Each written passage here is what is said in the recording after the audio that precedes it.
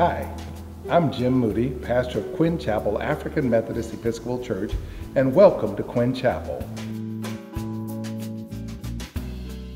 When we think about restoring this edifice, let me share with you what we've done. We've done $2.2 million of work in restoring Quinn Chapel. That includes a brand new roof system, new windows in the upper dormer windows there. We've also replaced the south and east walls of this building with brand new brick. Also outside, we put in new lighting as well as a new ramp to make it accessible for those who need a little help getting in.